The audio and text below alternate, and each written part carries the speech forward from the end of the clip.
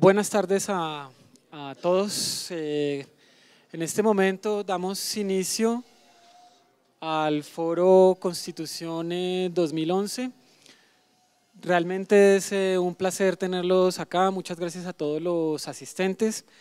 Es un placer tener aquí en la mesa también con nosotros eh, no solo a la decana de la Facultad de Derecho, Elena Alviar, y a la directora del el CIJUS, Julieta Lemetre, sino también a profesores eh, Beraldo Lamprea, Catalina Villegas, Ana María Muñoz y yo, profesores eh, de la Facultad de Derecho y eh, del CIDER.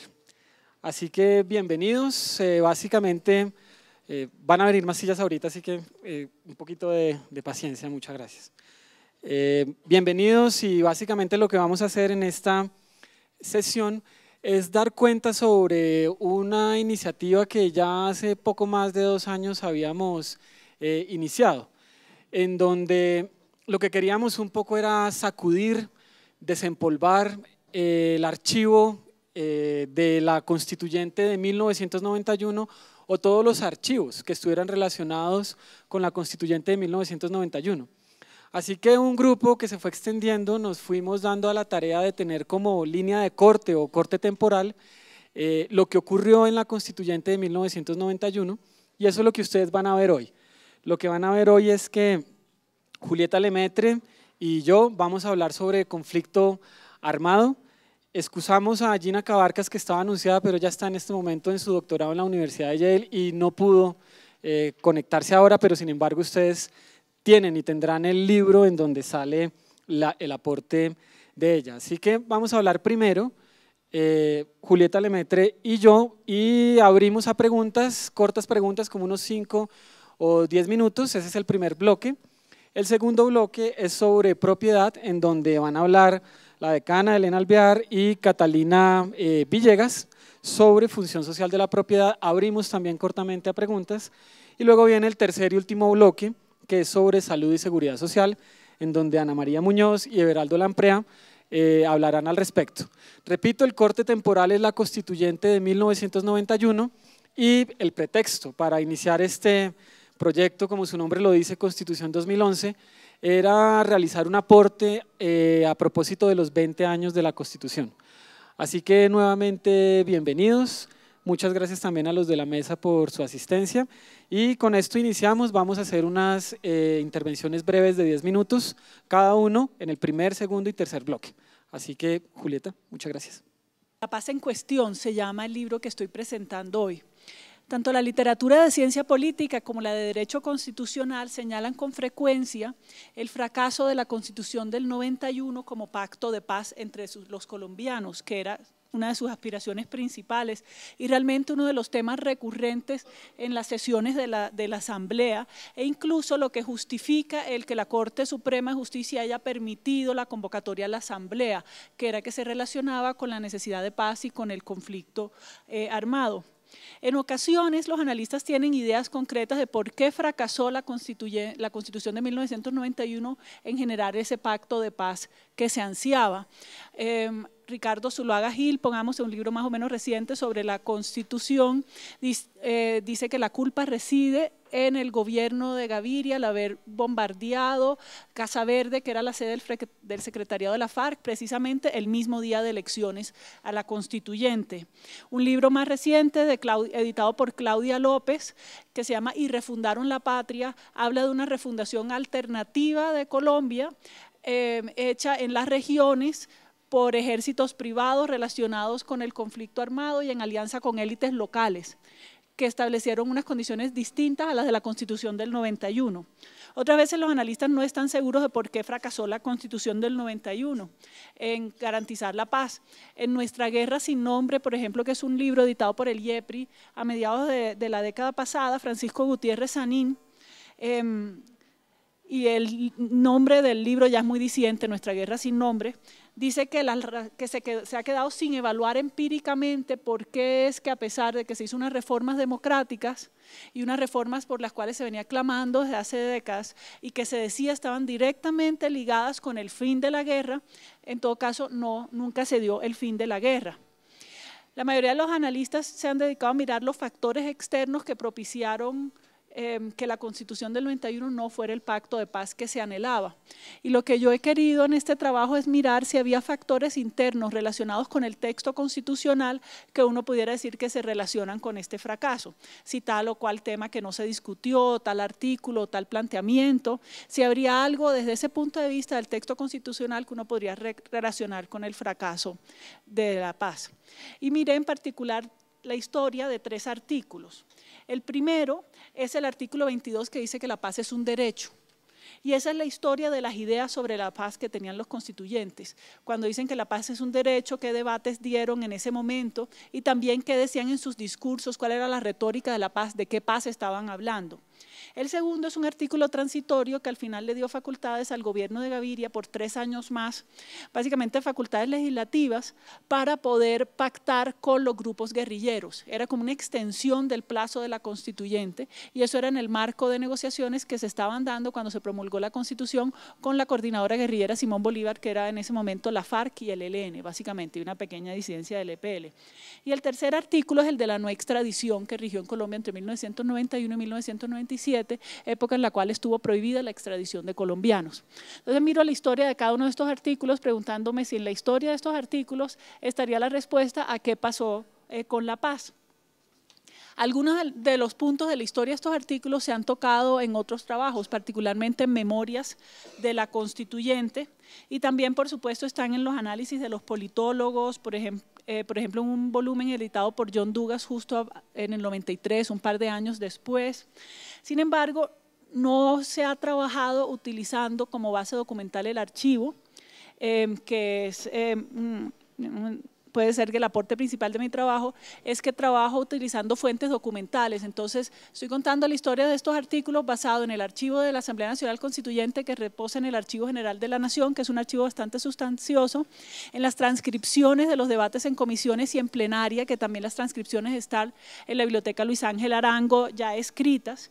Em, y organizadas por artículos, así como en revisión de, las noticias y los editoriales de los periódicos La Prensa, El Tiempo, Cromos y Semanas, en memorias y otro tipo de documentación producida por los, por los protagonistas de la época como Manuel José Cepeda o Rafael Pardo o Humberto de la Calle, y entrevistas a constituyentes que aparecen en diferentes medios. Y en este punto de aclarar que yo de forma deliberada decidí no utilizar entrevistas, porque en un trabajo anterior em, ya había detectado que el tema de, la paz es muy difícil. Em, que la gente recuerde lo que pensaba hace 20 años y lo que la gente recuerda está definitivamente filtrado por el proceso de Pastrana en el Caguán y por el gobierno de Álvaro Uribe. Y son cosas que que a mi modo de ver em, transformaban las memorias y hacía que la memoria no fuera del todo confiable. Entonces me remití a las fuentes documentales. Y el examen documental dio unos resultados que creo que son un aporte a la literatura, si no sea la respuesta definitiva a por qué fracasó el pacto de paz, que era la, la constitución del 91. En la historia de las ideas que tienen los constituyentes sobre la paz, muestro que hay un acuerdo generalizado que la constituyente debe ser pacto de paz a mí me parece por los documentos que es un acuerdo sincero y que sin embargo oculta diferencias ideológicas sobre qué quiere decir la paz y cómo lograrla. Y a pesar de que las personas no son siempre coherentes en términos ideológicos o que no se puede decir que contestan siempre como sus copartidarios o incluso que la pertenencia a un partido indica que se tiene la ideología de ese partido, sí hay unas tendencias. Eh, los constituyentes de izquierda, sobre todo los desmovilizados del M-19 o los que estaban con voz pero sin voto de, las guerrillas que se desmovilizaron a la sombra de la Asamblea Nacional Constituyente, tienden a hablar de paz casi siempre de la mano de ideas de justicia social y de fin de la pobreza y de transformaciones en el tema de la distribución de la riqueza y o sobre todo los del M19, tienden a hablar en términos de inclusión política, es decir, del, desmonte del Frente Nacional y de la inclusión de los partidos de izquierda en la participación política, especialmente, y también de ampliación de formas de la democracia participativa. Entonces, esta es una visión de cómo se logra la paz. Los constituyentes liberales, ahora le digo, no todos los del Partido Liberal, eh, pero sí hay unos grandes rasgos que me hacen decir aquí hay una unidad ideológica que además se refleja en la literatura de, de los intelectuales de izquierda y de los intelectuales liberales, tienden a hablar de la paz en términos de garantías de derechos y decir que lo que hace falta es garantizar los derechos. Y ahí hay un acuerdo con algunos de izquierda en que el desmonte de la forma como se venía dando el estado de sitio era importante para la garantía de los derechos y hablan más ese lenguaje. Los constituyentes conservadores se dividen, como estaban divididos además políticamente, en dos corrientes. Uno que se podría identificar con lo que queda de la Casa Laureanista, que hablan de cómo la Constitución del 86 garantizó la paz, sobre todo durante la hegemonía conservadora, por tener un Estado fuerte y de la importancia de que el, de que el Estado tenga armas a través de la figura del Estado de sitio, de no tocarla y dejarla como estaba, es decir, sin límite de tiempo y con muchas prerrogativas para el Ejecutivo, porque eso era lo que garantizaba la paz y lo que hacía falta era un Estado fuerte.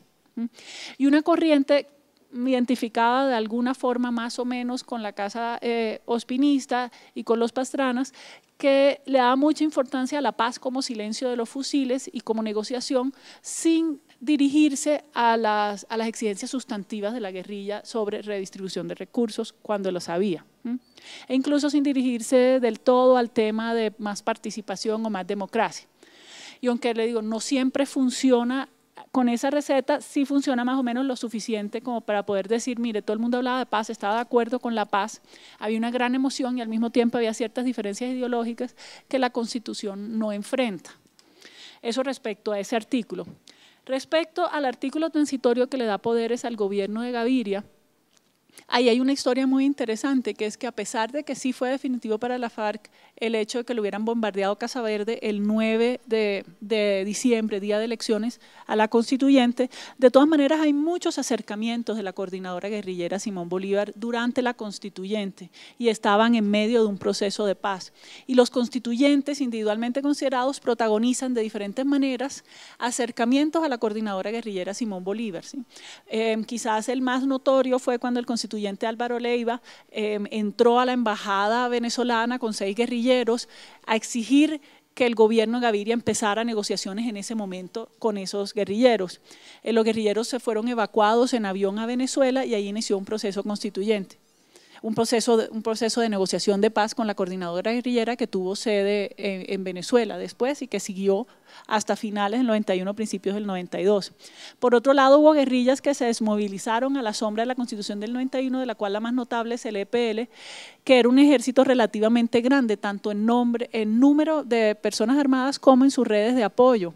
Y cuando el EPL se desmoviliza, se desmoviliza con 3.000 campesinos que apoyaban a los, em, ya no me acuerdo cuántos hombres armados que había, ¿sí? que era un número mucho mayor que el del M-19 no eran 3.000 hombres armados y 5.000 campesinos colaboradores que se desmovilizaron con el EPL, mientras que todo el M19 fueron 813 que se desmovilizaron contando armados y desarmados. Entonces el EPL era una guerrilla importante, era una de las guerrillas históricas y se desmovilizó precisamente a la sombra de la constituyente. Entonces hay otra historia que habla sobre la paz. El tercer punto es la no extradición de colombianos. Y hoy en día parece es difícil recordar tanto el clima de zozobra que creó Pablo Escobar principalmente y sus aliados en la figura de los extraditables a través de las bombas indiscriminadas y a través del secuestro selectivo de, personalidades. Eh, la zozobra que creó para las sesiones de la constituyente. Durante la constituyente mataron, mandaron a matar a Enrique Loumutre y apareció unos días antes el cadáver de Marina Montoya, que era una de las personas secuestradas por Pablo Escobar, y las transcripciones muestran la angustia y la zozobra de los constituyentes que se oponen a la prohibición de la extradición. También muestra que incluso que muchos de los que la apoyan no hablan en términos políticos, sino que dicen que este es un tema jurídico y ni siquiera mencionan la guerra a las drogas o las bombas de Pablo Escobar. Y hay otros que dicen que apoyan la no extradición porque meterla en la Constitución era hacer la paz con Pablo Escobar. Esos son unos pocos y, tienden a ser de izquierda. Y en medio de estas tensiones, lo cierto es que el 19 de junio la Asamblea Nacional Constituyente prohíbe la extradición de colombianos. Ese mismo día Pablo Escobar se entrega de la mano del, padre Rafael García Herrero, se recluye en la, en la cárcel La Catedral y baja dramáticamente la violencia en Colombia los extraditables se desmontan y baja significativamente la violencia. Entonces, a pesar de que se decía que la paz era la negociación política, que la paz era la paz con la guerrilla, y de eso era lo que se hablaba cuando se hablaba de la paz, la disminución de la violencia vino de la mano de la no extradición y del desmonte de la organización de Pablo Escobar. Entonces, esta es la historia de, la paz en la constituyente a través de estos tres artículos. Y creo que ese es el aporte que hace este libro a la literatura, hablar de cómo cuáles fueron los problemas, cuáles fueron los debates, qué fue lo que se dijo, qué fue lo que no se dijo, qué fue, y con eso quisiera terminar, lo que se quedó por debatir. Lo que se quedó por debatir y nunca se, nunca se mencionó fue el tema mismo de la guerra a las drogas. Y con eso estoy hablando de dos elementos. Por un lado, la prohibición absoluta de las drogas ilícitas y por otro lado, em, la militarización de la lucha eh, criminal a narcotráfico, que, venía, que era la forma como los Estados Unidos veía la la manera en que se debía dar la limitación a la oferta de drogas a través de la militarización, es decir, utilizando el ejército y no la policía, como manera no penal, sino de seguridad nacional.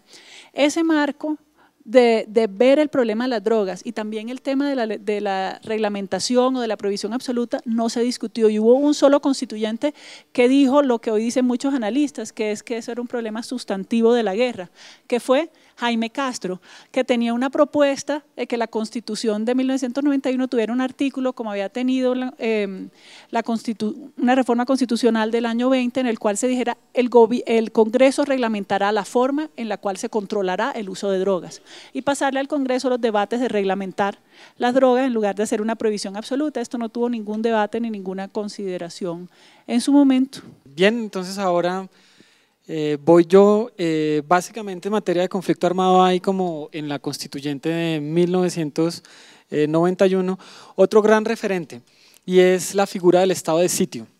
Digamos que era la figura eh, más usada, una de las figuras más usadas para afrontar momentos que el ejecutivo del momento, los presidentes del momento, veían como de profunda crisis. Entonces lo que hacían era declarar el estado de sitio y al declarar el estado de sitio, pues quedaba abierto, digamos, el escenario para fuertes restricciones de las libertades ciudadanas y también para una ah, desarticulación de los poderes públicos, ya que el legislativo, en lugar de expedir leyes, tenía que ceder normalmente al Ejecutivo, al presidente, quien hacía o expedía decretos eh, con fuerza eh, de ley. A tal punto fue utilizada la figura del estado de sitio que Antonio Navarro Wolf, uno de los copresidentes, eh, junto con Serpam y con Gómez Hurtado de la Asamblea Nacional Constituyente, abre, digamos, una de sus intervenciones diciendo, todos nosotros, o por lo menos la mayoría de los constituyentes, estamos en la constituyente de 1991, somos de lo que pudiéramos llamar la generación del estado de sitio. Yo nací en estado de sitio y vivo hoy en estado de sitio, dice Navarro Wolf. De hecho, en el momento en que dice él esto, estábamos en estado de sitio en Colombia, un estado de sitio que había iniciado con el, asesinato de Lara Bonilla en abril 30 de 1984 y que se extendió justamente hasta julio 4 de 1991 cuando fue suscrita la Constitución de 1991. Luego, eh, básicamente mi objetivo en, en este libro que se llama La generación del estado de sitio es estudiar a esa generación, o por lo menos estudiar algunos referentes de esa generación, la generación del estado de sitio, como se denominaban varios de ellos. Para hacer eso, básicamente asumo y parto de eh, una descripción que no es unilineal de los hechos, sino más bien como una descripción que busca darle como densidad a la duración histórica. Y es por eso que de la mano de un historiador eh, famoso, digamos, eh, Fernán Brodel, hablo de básicamente el acontecimiento, la estructura y la coyuntura. ¿Qué es eso? Básicamente lo que hago es mirar esta generación del estado de sitio en, una, en un ritmo de larga duración, que Brodel le llamaría estructura, yo le llamo trasfondo porque Brodel cuando habla de estructura son eh, básicamente tiempos glaciales y muy amplios y pues lo mío básicamente es como una revisión de 80 años durante el siglo XX. Entonces yo le llamo trasfondo, pero la generación del estado de sitio entonces la pongo en distancia con un trasfondo, con un análisis de trasfondo, luego con un análisis de la coyuntura y la coyuntura era básicamente el estado de sitio de 1984 a 1991, esa era como la coyuntura de la época, y luego finalmente eh, lo que analizo es el acontecimiento. ¿Cuál es el acontecimiento? Las discusiones que se estaban llevando a cabo en la constituyente de 1991. Y así divido el libro. El libro entonces habla de un trasfondo, el trasfondo lo denomino la, la superioridad implícita y explícita del Poder Ejecutivo, a la coyuntura la llamo la noche jovesiana de los ochentas, eh, pidiendo prestado un apelativo que, la politóloga Ana María Bejarano eh, incrustó, digamos, en, alrededor de, de, los noventas, hablando de la noche jovesiana de los ochentas. Y al acontecimiento le pongo el juicio de los constituyentes al estado de sitio, porque en realidad esa generación fue la que juzgó al estado de sitio. Y ya vamos a ver, lo declararon culpable, digamos. Eso es básicamente uno de los, de las conclusiones. Entonces, teniendo estos tres escenarios, trasfondo, coyuntura y acontecimiento, pues básicamente en cuanto al trasfondo, lo que miro es cómo el Ejecutivo se impuso a lo largo del siglo XX frente a las otras dos ramas del poder, frente al judicial y frente al Congreso en materia de orden público. Y lo que estudio es cómo se impuso tanto explícita como implícitamente. ¿Cómo se impuso implícitamente? Básicamente con una doctrina que tuvo mucha fuerza en la Corte Suprema de Justicia, que se llamó la doctrina de las facultades implícitas. ¿Qué quería decir esa doctrina de las facultades implícitas en materia de orden público? Básicamente que no había atribución o competencia explícitamente formulada en la Constitución que no llevara consigo lo que la Corte denominaba otras facultades implícitas, implícitas para llevar a cabo esa competencia explícita. Suena un poco enredado, un juego de palabras quizás hasta algún punto, pero básicamente lo que estaba diciendo la Corte es que todo aquello que se hallara implícito en la Constitución también formaba parte de ella junto con sus, disposiciones eh, expresas. Esto como ayudó al presidente, digamos que se empezó a consolidar una jurisprudencia en la Corte Suprema de Justicia que terminó asumiendo que implícitamente y explícitamente también el, el presidente era el guardián supremo del orden público, incluso sobre el Congreso. En una sentencia, digamos que es paradigmática de 1928, imagínense 1928 en el gobierno de Abadía Méndez hay muchas protestas y hay una reacción bastante brutal por parte del gobierno, incluso tan brutal que es allí donde ocurre el fenómeno de las bananeras, bueno, todo eso. Eh, básicamente expide una regulación bastante restrictiva de los eh, derechos. Y allí la Corte dice, el presidente sí podía. Sí podía hacerlo, ¿por qué? Porque así explícitamente no lo diga la Constitución, implícitamente se encuentra eh, allí eh, concebido que él puede dictar ese decreto. Era un decreto de alta policía. Y es aquí entonces donde viene la, una de mis tesis fuertes, digamos, que defiendo a lo largo del libro, y es que el orden público en Colombia se ha manejado, uno, con normas de excepción, que son estado de sitio básicamente, y dos, con normas de policía. Esta que expedía Abadía Méndez era una norma que en el momento se le denominaba de alta policía. Para no alargarme, eh, hay varias sentencias que continúan con este precedente. Quizás la más brutal de ellas es la de 1945, que reacciona, eh, que revisa un decreto expedido frente al golpe de Pasto eh, que fue ejercido en contra de López Pumarejo. López Pumarejo reacciona también fuertemente contra eh, eh, restringiendo fuertemente las libertades y la Corte dice usted puede, porque usted implícitamente está autorizado eh, para hacerlo. Pero no solo en el, en el análisis del trasfondo miro lo implícito, sino también lo explícito. Y explícitamente, también la Corte Suprema le dice al presidente, usted tiene la atribución de defender el orden público y esa atribución viene directamente dada a la Constitución. Así que en, varias, en varios sentidos usted ni siquiera tiene que mirar la ley, sino que usted directamente en desarrollo de la Constitución puede imponer los mandatos que usted quiera. Es así, por ejemplo, como se expide el decreto de Guillermo León Valencia 3398 de 1965, en donde se abre la posibilidad de que haya autodefensas en Colombia. Fíjense, ya desde 1965. O sea, privados particulares que por un decreto, por una autorización gubernamental, eh, podían portar armas con autorización. De allá viene el fenómeno que luego nosotros conoceríamos, conoceríamos como autodefensas, paramilitarismo, eh, etc. Luego este es el análisis del trasfondo. En cuanto al segundo análisis, que es el de la coyuntura, básicamente lo que hago ahí es mirar el estado de sitio de 1984 al 91, y ahí lo que se percibe es que si bien la Corte Suprema de Justicia eh, realiza un, eh, un eh, un análisis y una evaluación mucho más dura de los decretos presidenciales y tumba varios decretos. De todas maneras, también hay una reacción por parte del Ejecutivo blanqueando varios decretos. Entonces, la Corte por una parte los tumba, pero por otra parte el Ejecutivo los blanquea. ¿Qué es blanquear un decreto? Básicamente algo que es excepcional, el presidente y el gobierno se mueven para que la legislatura o el Congreso lo adopte de manera permanente. Entonces hay un blanqueo fuerte y ese blanqueo se ve también en la constituyente de 1991. Una de las grandes dudas que tienen los constituyentes del 91 es qué hacemos con todas las medidas de estado de sitio que se han impuesto hasta ahora. La respuesta del gobierno es blanqueelas, blanqueelas. ¿Cómo lo blanquea? Eh, digamos, esto es mucho más fino, pero por el tiempo les debo decir es simplemente se instaura eh, lo que la prensa denominó como congresito. Y lo que ese congresito, eh, lo que pasaba ahí es que el presidente o el gobierno eh, ponía a consideración del congresito todos los decretos de estado de sitio.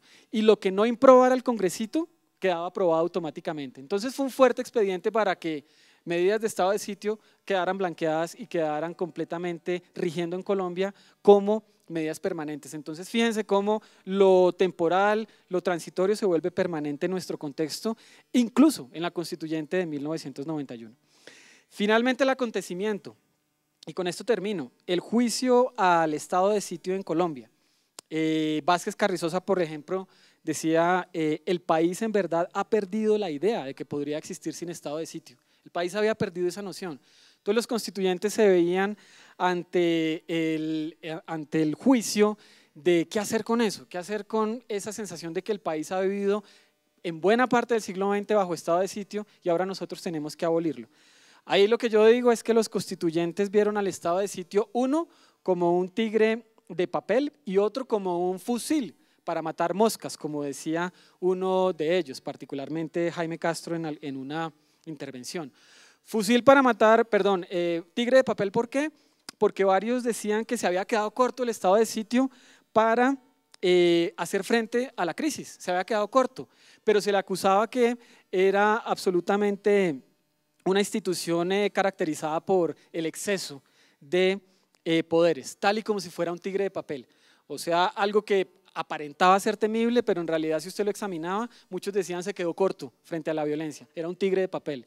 Esos eran unos, varios de ellos de la derecha de la constituyente de 1991.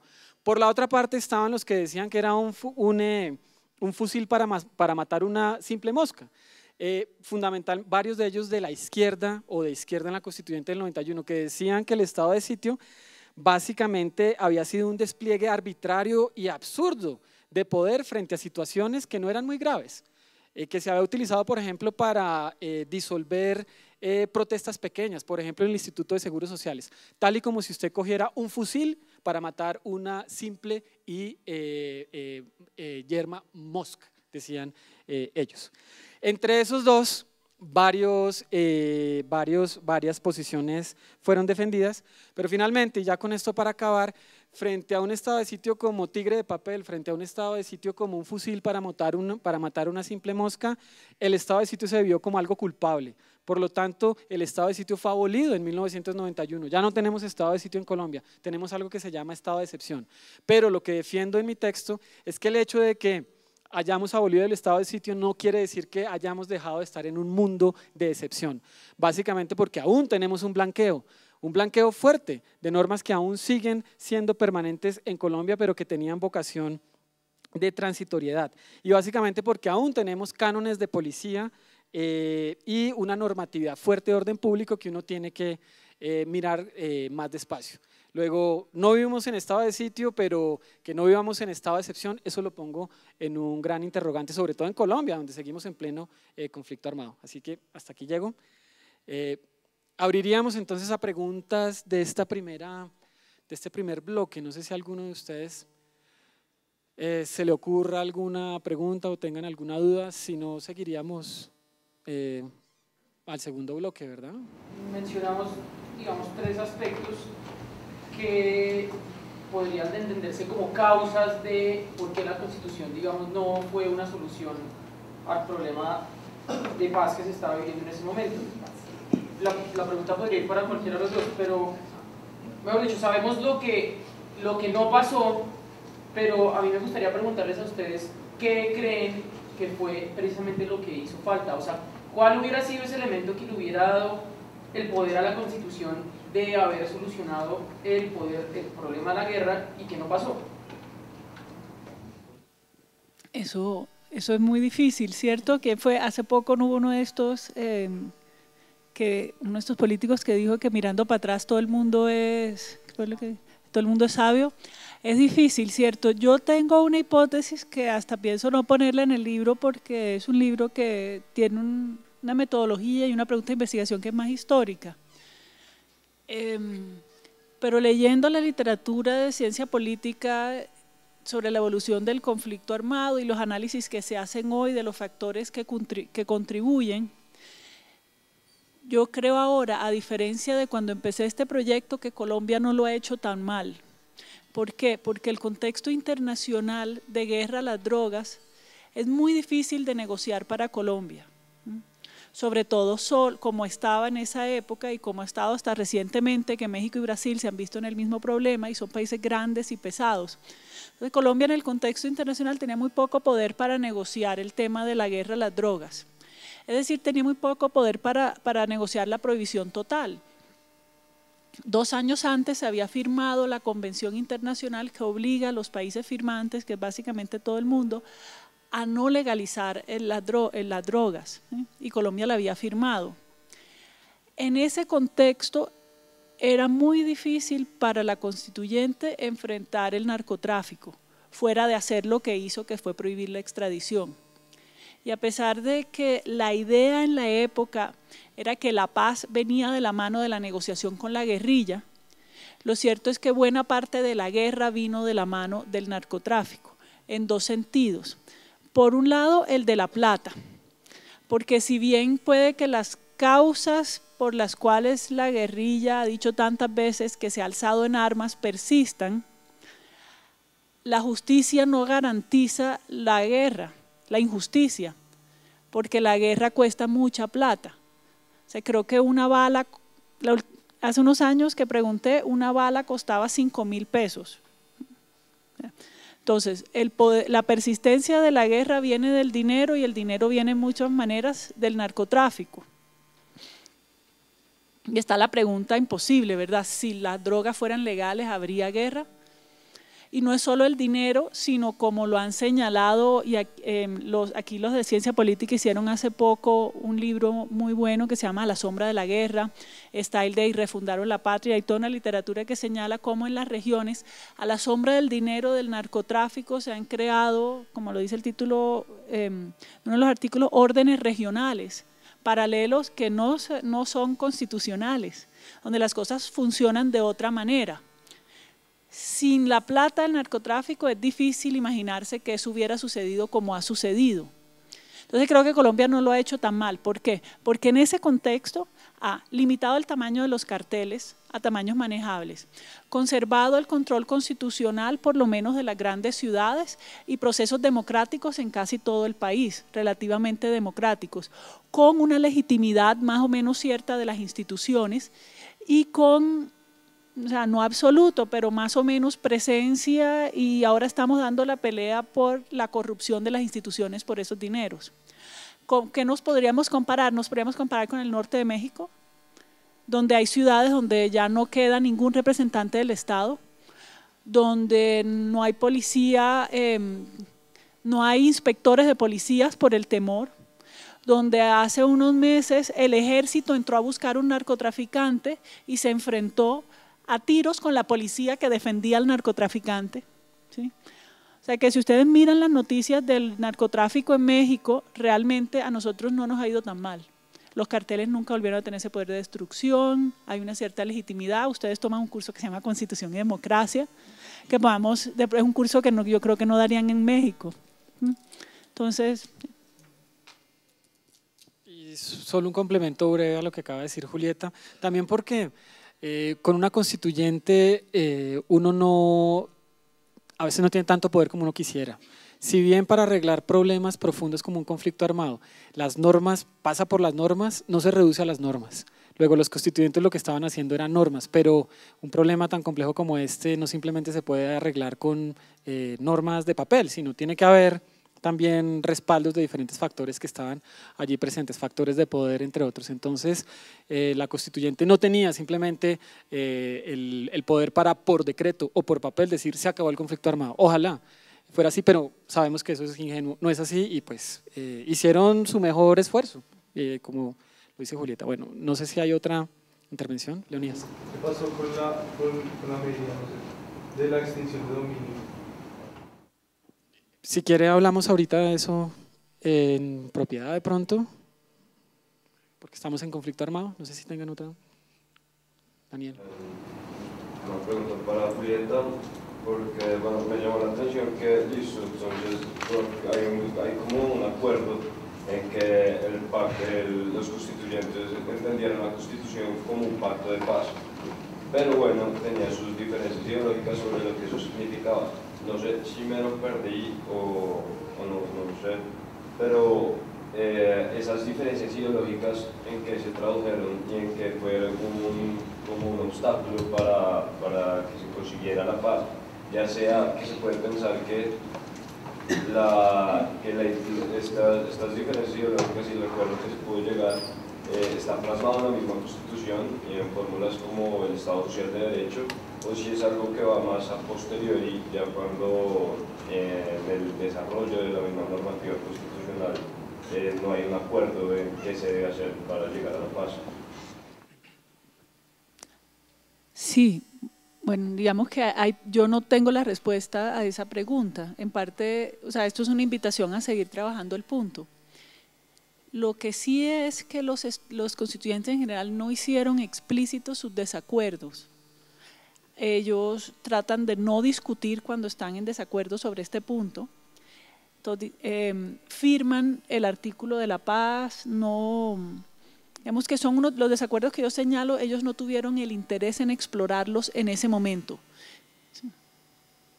Era tenía más fuerza política en ese momento el hecho que estaban de acuerdo con que era importante la paz.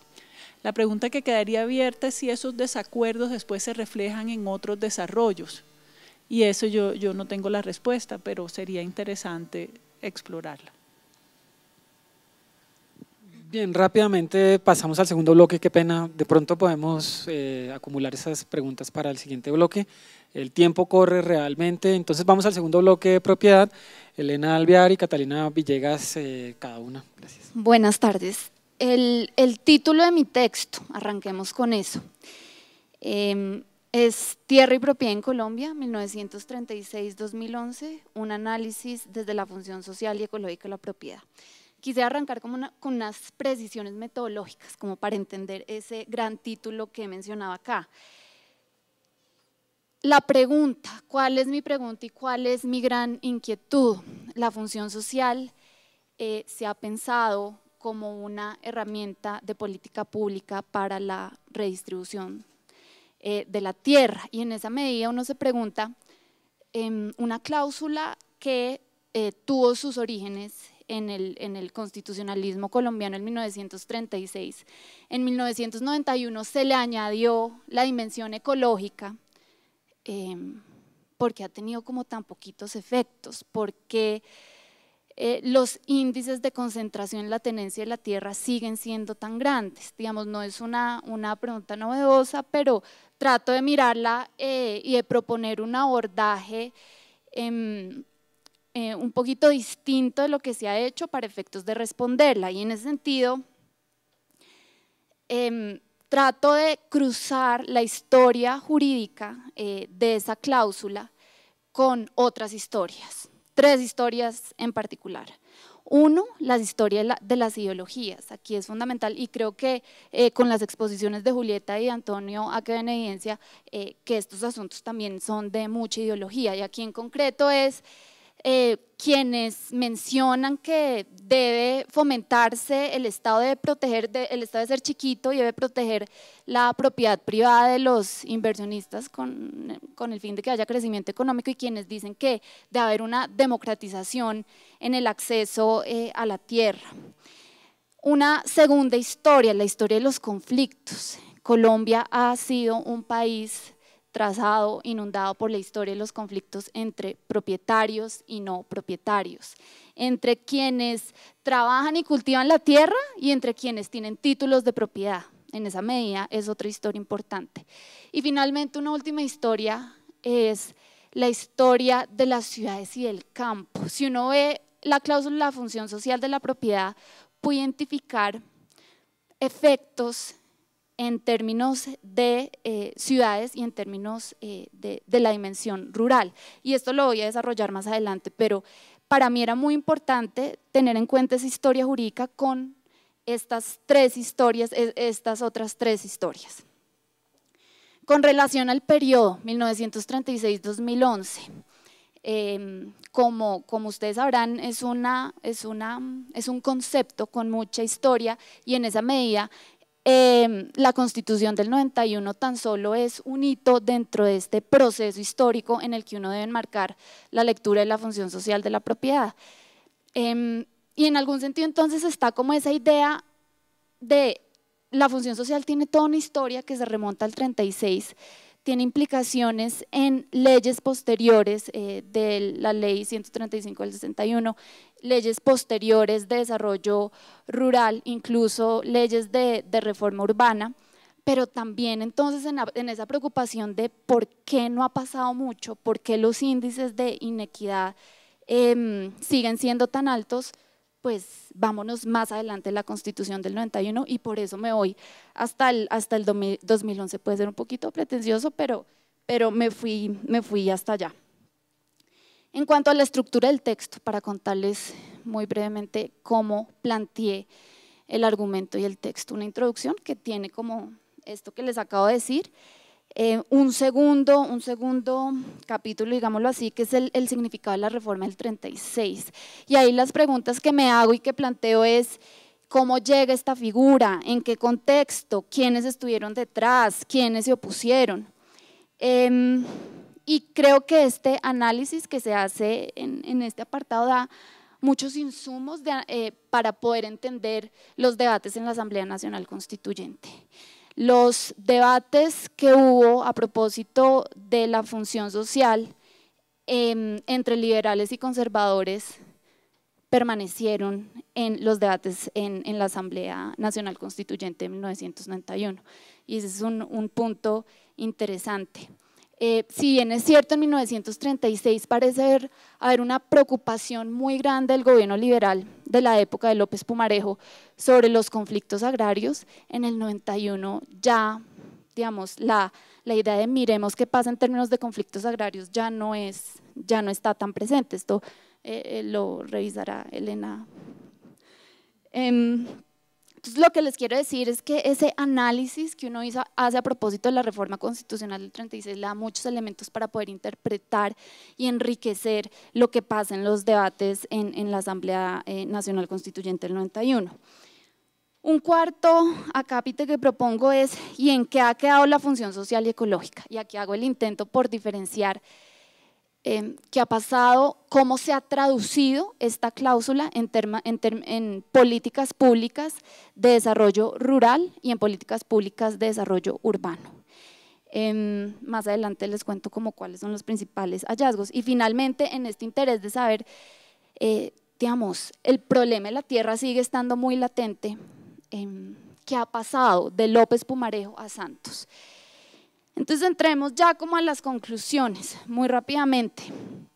Desde el punto de vista metodológico, yo sí quisiera rescatar el valor de este ejercicio eh, y es la importancia de entender conceptos e instituciones, normas en, líneas de tiempo. cómo aparecen y desaparecen conceptos, cómo se redefinen, cómo, cómo em, pueden continuar o no en el discurso, en el discurso jurídico. Y en esa medida sido importante, em, digamos, trato de evidenciar en el texto, y esto no es nuevo, esto está en otros textos, que hemos pasado de un derecho de propiedad ilimitado y absoluto a un derecho de propiedad que en razón de la función social eh, supone no solo derechos, sino también obligaciones. Y esto ha tenido impactos importantes en, dos temas en particular. Uno, el derecho de propiedad no es fundamental. Y dos, no toda limitación del derecho de propiedad supone una indemnización para el propietario. Creo que eso es, eso es importante. Y con relación ya más específico a la cláusula de la función social eh, y ecológica de la propiedad, digamos, la cláusula hace, siempre ha hecho mucha referencia a, a ese derecho de propiedad como un em, derecho, pero también como un deber. Y creo que está pendiente eh, un desarrollo mayor sobre ese contenido ecológico. Hay una sentencia del 2006, la C-189 del 2006, que trata de llenar un poco más ese contenido ecológico cuando menciona que las limitaciones que se impongan a los propietarios en razón de la conservación del medio ambiente son legítimas y que ya el derecho eh, al medio ambiente no es una cuestión de interés general, sino que es un derecho de rango constitucional. Pero digamos, sí hay ahí algo muy pendiente por desarrollarlo aún más en, términos eh, pues, prácticos. Y sobre la investigación como tal, voy a mencionar tres asuntos. Uno, el problema de la redistribución de la tierra no fue el tema central, ni la mayor preocupación o motivación, ni en la reforma del 36, ni en la ley 135 del 61, ni en los debates de 1991, y me atrevería a decir que tampoco en la ley de víctimas. E, ese problema de, redistribución, en algún sentido, si uno mira, por ejemplo, los discursos de López Pumarejo, eh, que los invito a que los miren porque son realmente... Em, muy, muy interesantes, un López Pumarejo planteaba cosas como la siguiente, una república campesina como la nuestra necesita leyes más justas y democráticas sobre la propiedad de la tierra, sobre su uso y sobre, las relaciones entre el dueño de la tierra y el trabajador asalariado. Ahí hay una preocupación em, legítima de redistribución y de justicia social. Em, evidentemente, y esto quienes han interpretado y han mirado eh, el tema de las ideologías liberales, dicen que, López Pumarejo tenía em, una preocupación grande por los conflictos que se veían, se en esa época. Realmente a López Pumarejo su gran preocupación era insertar a los pequeños campesinos en el modelo capitalista.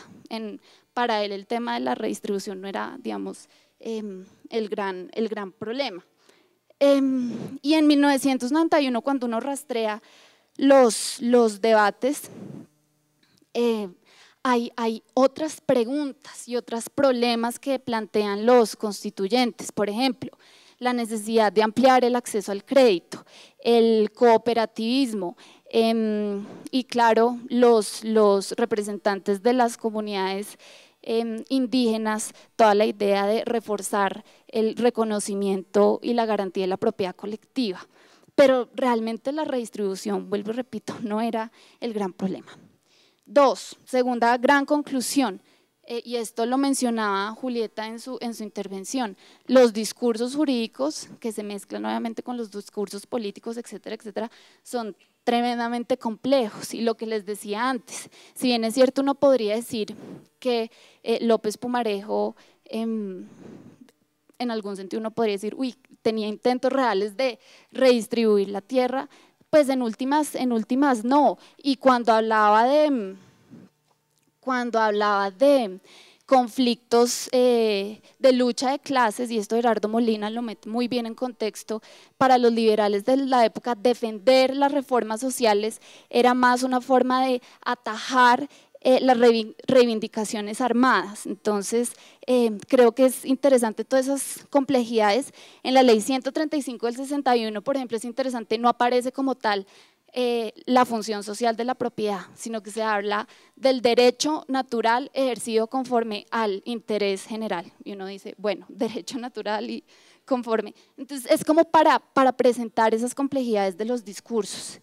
Em, y finalmente, para, concluir, si bien es cierto, las ciudades colombianas siguen siendo altamente excluyentes, con unas problemáticas inmensas como la informalidad, em, creo que al aplicar la función social de la propiedad en leyes de reforma urbana se han logrado avances y cambios importantes en tres sentidos.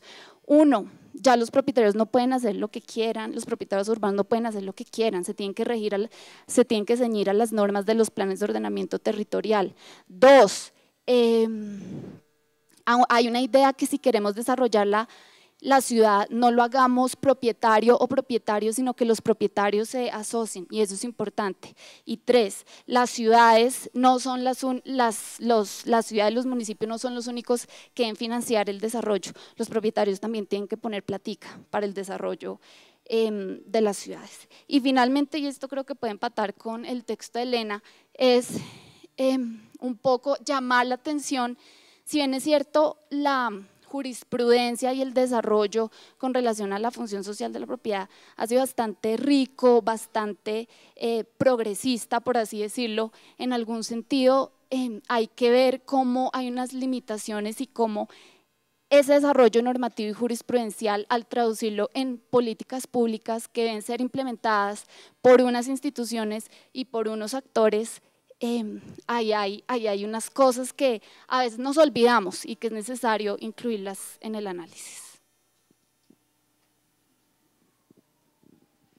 Bueno, em, primero que todo, yo quisiera agradecer a las personas que han impulsado este trabajo de Constitución 2011 yo, eh, digamos, me dio una oportunidad de volver sobre un tema que para mí ha sido muy importante y primero quisiera decir cómo se enmarca este proyecto dentro de un proyecto general en el que he venido trabajando en los últimos años y es contestar un poco a la pregunta que también estaba haciendo Catalina. Y por eso además, entre otras cosas, me parece maravilloso que los dos artículos van a estar en el mismo libro porque realmente se complementan muy bien.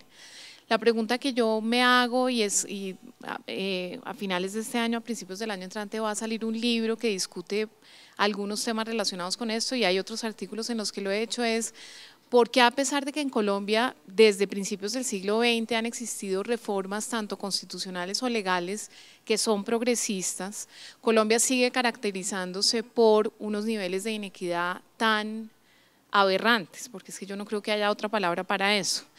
Y aunque han existido explicaciones, digamos, eh, económicas o políticas, hemos mirado menos jurídicamente, digamos, cómo la legislación o la reglamentación ha participado de esta rigidez estructural en la distribución más equitativa de recursos en Colombia.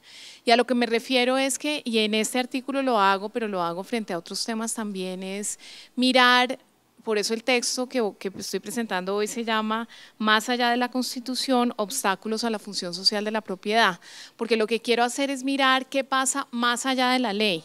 O sea, claro, está la promesa constitucional de la reforma de la función social, pero una vez eso se desarrolla en reglamentaciones, se concreta en instituciones y es interpretado por los jueces, empiezan a surgir una cantidad de limitaciones que tienen que ver exclusivamente con el derecho. Eso es, digamos, una parte gruesa de lo que hago. Pero al mismo tiempo, y es muy importante porque es uno de los temas en los que más me he interesado en la vida, que es la relación entre derecho y desarrollo, hago una discusión acerca de cómo incluso esos impulsos redistributivos se van a ver limitados cuando uno lo compara con una definición de desarrollo económico muy específica. Entonces lo que voy a hacer en esta presentación muy corta es, y voy a eh, leer unos pedazos cortos del texto para que ustedes vean un ejemplo de eso. Em, por ejemplo, la ley a la que hizo referencia Catalina, que es la ley 135 de 1961, enfrentó como tres grupos grandes de restricciones que tienen que ver con solamente con lo que tiene que ver con la ley. Por un lado, el INCORA, digamos, era una institución relativamente débil para llevar a cabo eso, y ahora voy a leer un ejemplo del texto.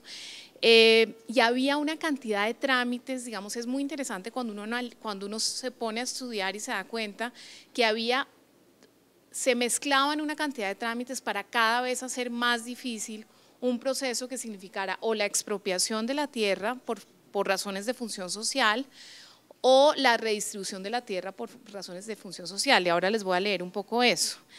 Em, el, el texto describe, en 1961 el presidente Alberto Lleras Camargo, preocupado por la expansión del comunismo en América Latina y los escasos resultados de la Ley 200, la Ley 200 era la ley que había desarrollado la reforma constitucional en 1936, eh, propone una, una nueva ley de reforma agraria. En esta ley se crea el Instituto Colombiano de Reforma Agraria, el INCORA, para manejar y distribuir los terrenos baldíos. Primero, ¿Cuáles fueron los, los, obstáculos que se encontraron? En vez de redistribuir por propiedad concentrada, y esta es una de las cosas más interesantes, aunque el INCORA tenía como obligación encargarse de mirar cuál era, dónde, la, dónde estaba la propiedad concentrada, el INCORA lo que se dedicó a hacer fue a, distribuir baldíos. Es decir, no, realmente no usó el potencial que le daba una definición de la función social de la propiedad. Em, el INCORAM adquirió la mayoría de los predios durante sus primeros tres años de, existencia. Y después el proceso de adquisición se detuvo, uno se da cuenta, digamos, leyendo lo que, fue, lo que dicen los académicos acerca de la ley 135 del, 61 es que, claro, uno empieza a ver cómo empieza a ejercer una cantidad de, presión política para que si tenían algún impulso distribuidor lo empezaran a parar. Y por eso empieza a parar, digamos, el Em, impulso distributivo. Eh, la adjudicación era muy ineficiente. De las 2.454.000 hectáreas adquiridas por medio de la extinción, solo 5.000 fueron entregadas a 121 beneficiarios. O sea, adquiere una tierra, uno ve que empieza la presión a que no se haga y no se hace. Lo mismo sucedió con tierras adquiridas por donaciones. En esa época al Lincora le donaban mucha tierra, ahora funciona de una manera un poco distinta. Eh, pero de las 310 mil hectáreas, solo 44 mil fueron distribuidas. Eh, y bueno, digamos, el artículo tiene muchos ejemplos de cosas que suceden frente a eso.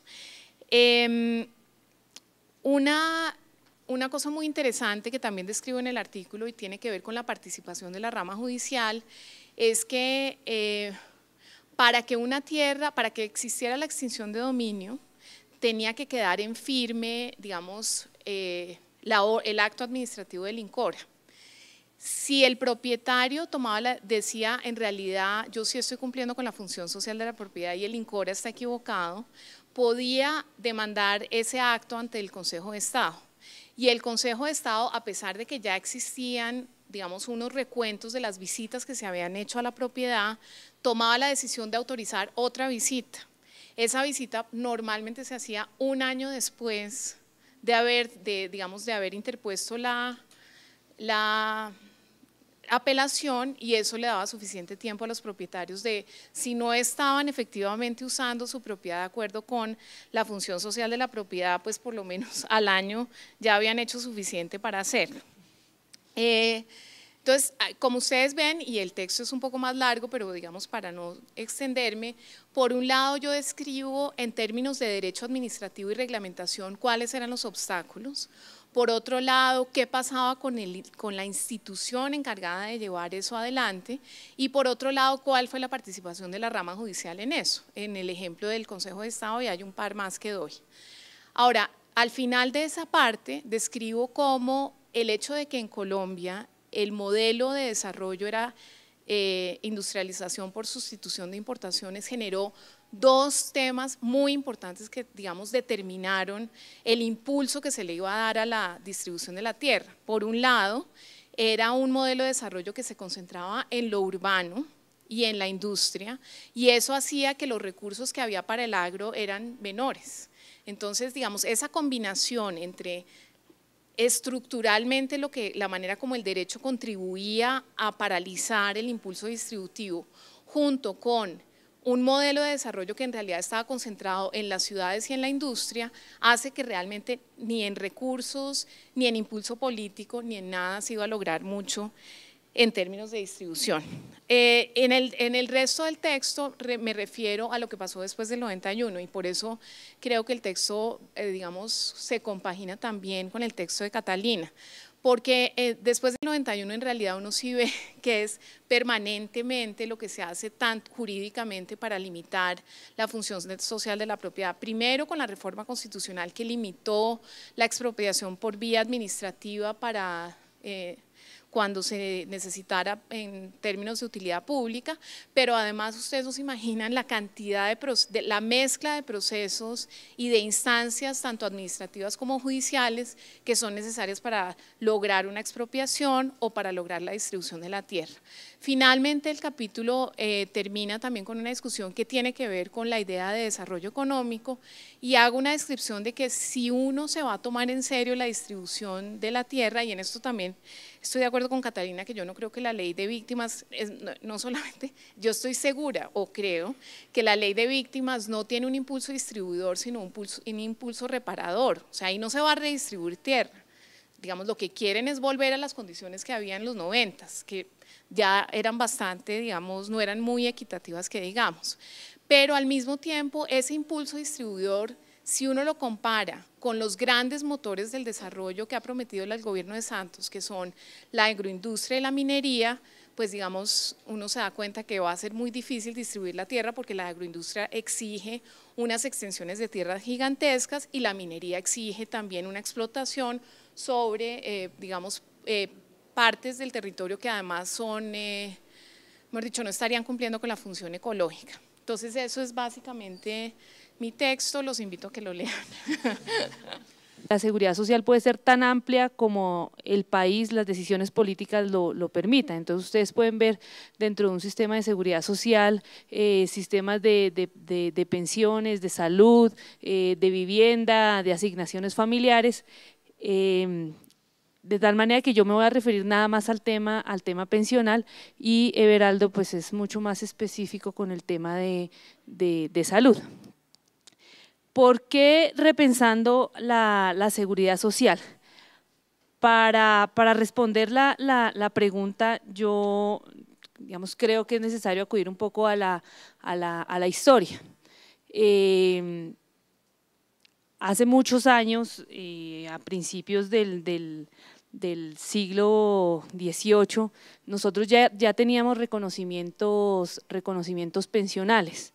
Lo que pasa es que esos reconocimientos pensionales se daban eh, en función a grandes personalidades. Eh, y si ustedes comparan la legislación que reconoce pensiones, pues es muy fácil eh, hacerlo con los grandes, frente a la historia, digamos, que nos han enseñado de los grandes próceres. Entonces ustedes ven que se le ha reconocido pensión a Simón Bolívar por sus grandes eh, servicios y de ahí en adelante a, todos los, los, próceres. Eh, esos reconocimientos con el paso del tiempo intentaron volverse cada vez más generales. Entonces, eh, ya no se hablaba de una persona en particular, pero sí se hablaban de los trabajadores de los ferrocarriles, eh, los empleados de Hacienda, de tal manera que lo que se intentó ser general, de todos modos seguía teniendo un espacio muy, muy limitado y era que uno tenía que ser trabajador. Eh, cuando se crea el, seguro social en el, en el 46, esa, es la idea que está, que está detrás. Vamos a proteger o vamos a brindarle el, amparo a los trabajadores del, sector, del sector privado. Lo mismo ocurre con el sector, con el sector público, tal manera que en los años 90 teníamos más o menos 1.040 cajas del, del Estado más el Seguro Social, pero lo que era dramático era que esas 1.040 cajas ofrecían más o menos una protección al 20% de la población es decir, era una cosa, una relación ridícula. Eh, otro, otro antecedente importante es el, que ocurrió en el, en el año 36, cuando dentro de ese afán pues, social que, mencionó Catalina, se reconoce como derecho constitucional el derecho a la asistencia pública. Entonces, por primera vez se, reconoce la, la, necesidad de intervención del Estado en los problemas digamos, de, asistencia para las personas que se encontraran en una situación de, calamidad. Lo que pasa es que la asistencia pública pues, es una protección absolutamente residual en la medida en que nada más se le da a las personas que fueran inválidas para trabajar, que no pudieran tener eh, recursos eh, por sí solas y además que no tuvieran ningún familiar a los que les pudieran exigir la, atención de sus necesidades. Entonces era una cosa eh, muy, muy, muy pequeña. Como les decía, además de todos las, los problemas eh, institucionales, también habían unos problemas muy graves, unos problemas financieros. De tal manera que en el momento en que eh, empieza a, funcionar la, constituyente, era claro que el tema de la seguridad social había, había que, tratarlo. En, el, recuento que, hago, eh, pareciera que todos los constituyentes coinciden en que es necesario ofrecer condiciones dignas a todos los habitantes de, Colombia. Pues de hecho no, aparece nadie que diga no, no creo que haya que ofrecerle un mínimo a, nadie. Pues, eh, ahí sí, sí existía coincidencia. El problema era cómo debía abordarse el, el problema yo dividí en, en tres esa, esa, digamos, esa posibilidad que, tenían los constituyentes. Para algunos simplemente era necesario ampliar el derecho a asistencia. Es decir, si no estaba funcionando muy bien la asistencia, lo que había que hacer era ponerla a funcionar y que entrara más gente dentro del, del amparo de la, de, la, de la, asistencia. Había otro grupo muy, muy fuerte y eh, simplemente lo que, lo que decían era, bueno, si el problema es un problema institucional, entonces eh, organicemos el seguro social, eh, intentemos mejorar las, las condiciones. Y todas las propuestas se basaban en función de los trabajadores.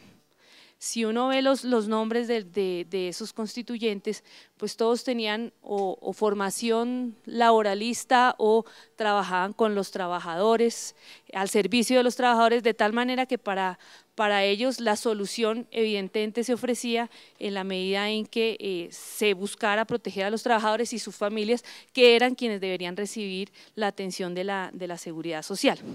Había un tercer grupo que lo que proponía era un derecho general. Es decir, todos los ciudadanos deberían tener el derecho a la, a la seguridad social. Eh, creo que con acierto ganó la tercera, la tercera propuesta y es que el derecho a la seguridad social es un derecho general. Ahí hay que reconocerle un valor eh, importante a la, a la, Constitución en la medida en que pasó de ser de un derecho puramente de los trabajadores a ser un derecho, un derecho general. ¿Por qué el, título del, texto? Porque a pesar de, esa importancia, seguimos pensando en la seguridad social como un derecho laboral. Me explico. Muchas de las sentencias que surgen después de la Constitución del 91 señalan que la pensión es una retribución por los años de trabajo. Sean que la, la pensión es el producto final del trabajo. Eh, es decir, la pensión se convierte entonces como el salario de las personas que ya no pueden seguir trabajando por razón de la edad. Entonces, el, discurso sigue siendo un discurso absolutamente laboralizado, no como un derecho, un derecho general. Eh, la seguridad social tiene un problema y es un problema económico. Eh, en tal medida habría, es decir, si el país considera que existe un derecho a la, seguridad social, debería tomárselo en serio en términos, en términos económicos. Todas las reformas que han seguido después de la Constitución del 91 se han centrado en regímenes contributivos y un régimen contributivo lo sostienen fundamentalmente los trabajadores. Entonces, el postulado general lo han desarrollado eh, regímenes contributivos. Eh, hemos dejado de, de, lado, o todavía no hemos desarrollado eh, el tema de, regímenes no subsidiados, sino no contributivos, que pueden marcar la, la, diferencia. Y, eh, digamos, otra conclusión muy, muy grande es que dentro de el hecho de repensar a la seguridad social, también hay que hacer claridad que es un derecho, pero el derecho implica unos deberes. y en esa medida los ciudadanos han considerado que se trata de un derecho laboral que se puede exigir y eh, hay poco para, para dar al, sostenimiento del, sistema. Yo no voy a abundar ya eh, en lo dicho por Ana María y pues de paso le agradezco porque eh, me ahorra como citar algunos datos que tenía pensados para el inicio. Simplemente voy a decir que así como Ana María ha descrito el sistema de seguridad social en Colombia al eh, voltear la década de los 80 hacia los 90, el sistema de salud en Colombia reproducía casi que fielmente la fragmentación, la baja cobertura, la desigualdad, la eh, mala financiación y el corporatismo del sistema de seguridad social. Eh, antes de la reforma de la Ley 100, el sistema de seguridad social en salud en Colombia atravesaba por una crisis profunda. Si ustedes leen los periódicos y escuchan noticias o radio, sabrán que eh, en Colombia en este momento el sistema de salud vuelve a atravesar, según la opinión pública, por una crisis profunda. El título de mi libro es La Constitución de 1991 y eh, la crisis de la salud, encrucijadas y salidas. La pregunta de fondo es, ¿qué produjo la crisis por la cual atraviesa el sistema de salud colombiano. Y la respuesta, después de un proceso de investigación en donde tanto Toño como Julieta me impulsaron a revisar el archivo histórico, es, bueno, se trata de una crisis que se intentó solucionar en los 90 con la Constitución del 91 y con la Ley 100 y con una batería de normas que se derivaron de ahí, pero es una resolución, es una salida a la encrucijada relativamente fallida. En el texto explico por qué el relativamente es importante. La cobertura del sistema de seguridad social en salud pasó de 21 o 23% en 1992, 1993 a un 89% según el Departamento de Planeación Nacional o a un 96% según cifras del el Ministerio de la Protección Social. Eh, ese aporte positivo de la reforma viene obviamente menguado por la crisis por la cual estamos atravesando, que puede ser resumida eh, de manera pues bastante eh, precaria en un lapso de cinco minutos, pero uno podría decir en el fondo que se trata de una crisis de regulación de un sistema que permitió la entrada de nuevos actores, en este caso prestadores del servicio de salud privados y aseguradores también, que eh, necesitaba de un esquema de regulación mucho más sofisticado que el que eh, ha mostrado el Estado colombiano, en este caso concreto el gobierno colombiano y las entidades regulatorias. Entonces yo volví a la crisis de 1991, la crisis que asediaba el sistema de seguridad social en salud y traté de entender cómo la Asamblea Nacional Constituyente eh, más particularmente la Comisión Quinta, trató de generar eh, salidas a esa coyuntura, a esa encrucijada. Entonces yo puedo presentar como dos hallazgos grandes de ese ejercicio investigativo y varios argumentos. Voy a empezar por los hallazgos. El primer hallazgo es que en la Asamblea Nacional Constituyente eh, el tema de la seguridad social en salud fue un asunto más de consensos que de disensos. Sin embargo, estos consensos, a diferencia de lo que ha sugerido eh, una literatura muy interesante y muy sofisticada, como por ejemplo textos de César Rodríguez, a diferencia de esa literatura, creo que los consensos no se dieron en las líneas de neoliberalismo y constitucionalismo, como él ha sugerido en un texto que los invito a leer porque es de verdad súper interesante.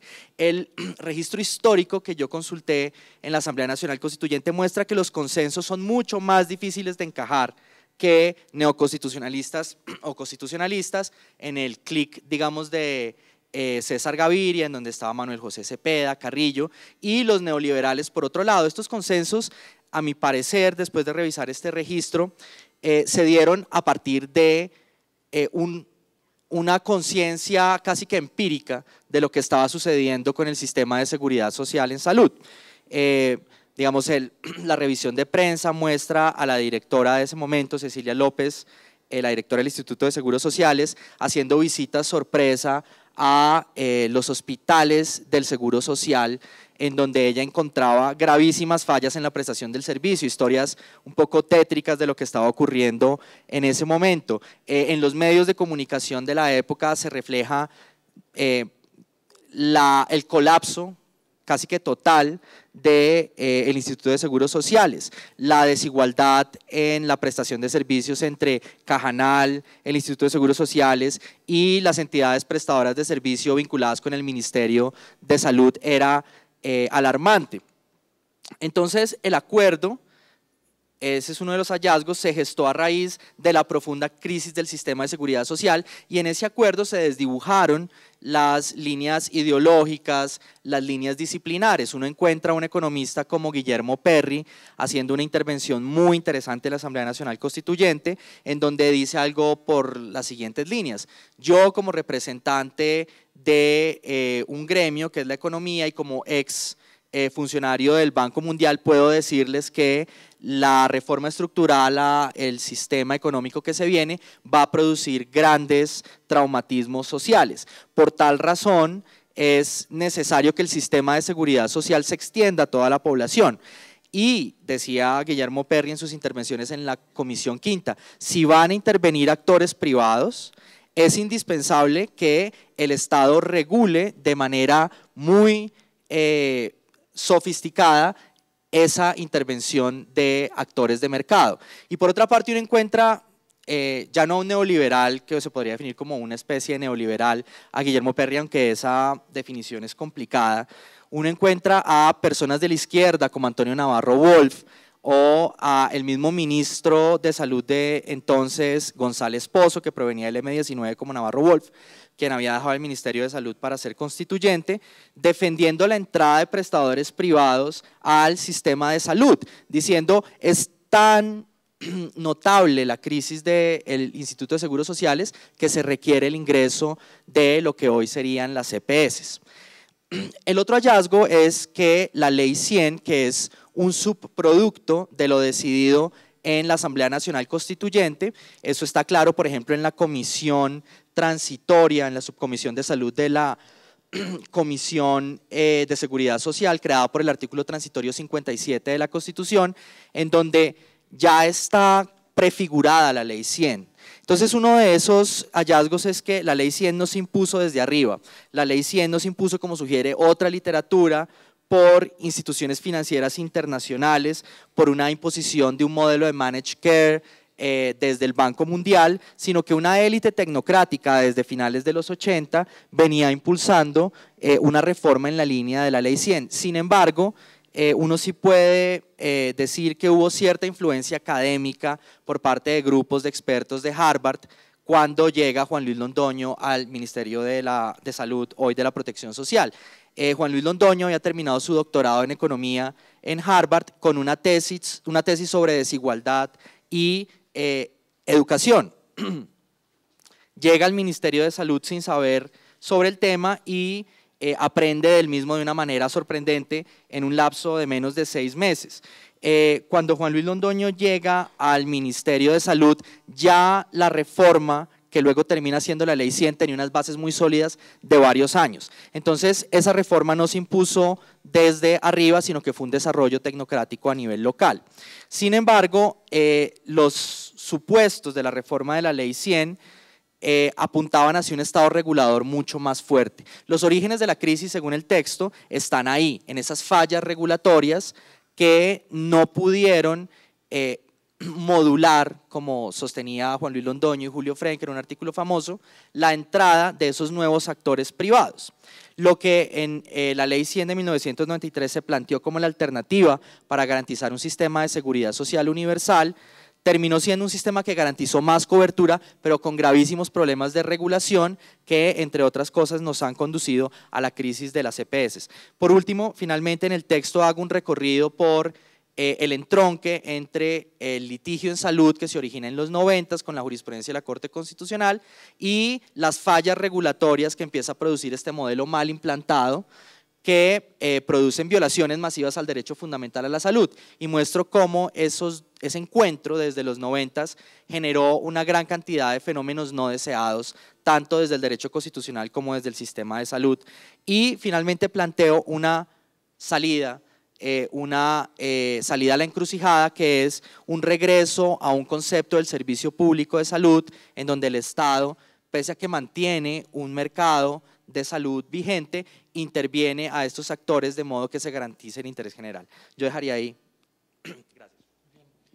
Muchas gracias. Estamos pasados de tiempo. Antes de que se desmantele esta mesa y también el auditorio, recibiríamos una o dos preguntas. Adelante. Tengo una pregunta para Entonces, Más uno. nosotros sabemos que en el 91 la parte del territorio con una visión ecológica se empezó a replantear. Entonces ya no vemos que, que la parte, digamos, ambiental se empezó a definir como que se señala las leyes económicas. Pero en ese momento tenemos un modelo económico que dice que la parte ambiental tiene que regirse por toda la parte económica e industrial, ¿sí? Si me entender más o menos. Teniendo en cuenta primero lo económico, lo industrial, incluso antes que lo ambiental. Entonces tenemos que en el 91 empezó a ascenderse en temas ambientales acá en, en Colombia. El Interena, éramos pilotos en muchos proyectos que incluso fueron seguidos por otros países. Pero o sea, yo quiero saber como qué factores influyeron para que en un determinado momento, no sé exactamente cuál, todo ese ascenso empezara a decaer y que en ese momento tengamos problemas de legislación ambiental muy graves, que se estén tomando o no muy en serio, o en un caso como que los decretos ambientales sean tomados como un chiste literalmente, porque uno los ve y son poco arbitrarios. Y que también un presidente no tenga, tenga las facultades constitucionales que no están implícitas para tomar decisiones que en principio son arbitrarias. Entonces, ¿quién fue lo que, o sea, qué factores influyeron para que todo eso se presentara ahí en ese momento?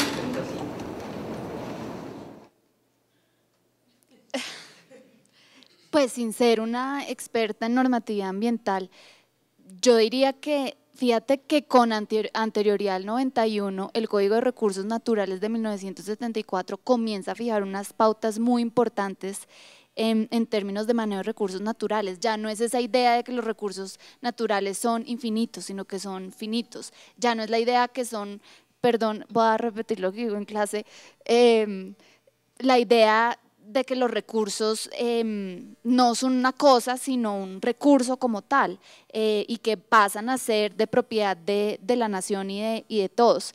Em, yo, no diría, yo no diría que hay un, vuelvo y repito, sin ser experta en el tema ambiental, pero, pero falta, falta precisar más, por un lado, e, ese alcance de la dimensión ambiental dentro de la función social, Em, y por otro lado, yo no diría que estemos en un, en un decaimiento como tal, yo creo que hay una dispersión muy grande de normas, que hay muchas normas que nos complican la interpretación. Em, eso por un lado. Y por otro lado, fíjate, no sé, estoy pensando en, el, en, en, en, los permisos, en las licencias ambientales y volviendo un poco a lo que decía Elena, son trámites muy engorrosos. Es decir, existe el interés, existe la protección, la, el interés de proteger el medio ambiente, pero, pero los, por ejemplo, no sé, para sacar una licencia ambiental de una eh, empresa exploradora de, petróleo, se quejan que esto es imposible, que esto es... Eh, pero vuelvo y digo, no creo que sea falta de interés, sino una dispersión normativa muy grande, procedimientos muy engorrosos, y ahí está como el gran reto. Eh, veo que no estás de acuerdo conmigo. Mis preguntas, estoy que nosotros caso, hay auditoría ambiental que se realiza sobre, por ejemplo, la carretera panamericana que lleva a la cepa de ningún lado, porque no conecta ni con Panamá ni con nada. Pero aún así se aprueba, aún así, aunque haya auditoría ambiental, que son como todos los estudios que se hacen y se tienen en cuenta, no se toman en cuenta para la aprobación de dichos proyectos. Entonces, a eso me refería con decencia, porque ya no se toman en cuenta ya no son importantes si se toca hacer algo, bueno, no sé qué proceso seguirá para que se vuelva a replantear y reformular eso, para que sí, se puedan meter a esos Claro, pero fíjate también, eh, eh, perdón, rápidamente, eh, ejemplos como el páramo de Santurbán, la licencia minera, eh, y hubo toda una movilización social para que no se expidiera esa licencia minera. Yo creo que, em, es decir, con ese contraejemplo te quiero decir que de todas formas puede haber intereses legítimos o una protección al medio ambiente. ¿Que se han cometido errores? Sí. Eh, ¿Que se han eh, otorgado permisos y licencias cuando no se debían otorgar? Sí, pero también hay casos en los que creo que la movilización social ha sido importante para frenar esos, esos abusos. Bueno, ahora sí estamos como bien pasados de tiempo, así que cerramos el evento. Muchas gracias a ustedes por su presencia. Hasta luego.